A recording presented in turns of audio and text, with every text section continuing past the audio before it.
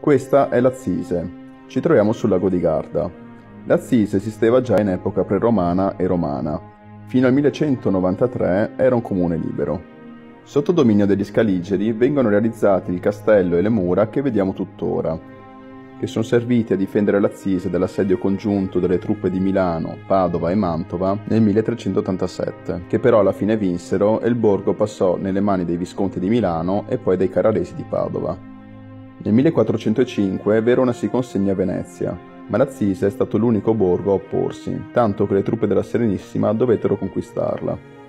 Sotto Venezia, a parte la guerra contro Filippo Maria Visconti nel 1439, la guerra della Lega dei Cambrai nel 1510 e il sacco dei Lanzichenecchi nel 1529, l'Azzise prosperò nella pace. Questo fino alla Rivoluzione francese, quando le truppe napoleoniche durante la campagna d'Italia posero qui un loro quartiere generale, e si diedero al saccheggio. Poi, come tutto il Veneto, passa sotto dominio austriaco nel 1815. Durante la prima guerra d'indipendenza le truppe piemontesi passano per l'Azzise prima di perdere la battaglia di Castelnuovo. Durante la seconda guerra d'indipendenza furono curati dei feriti della battaglia di San Martino.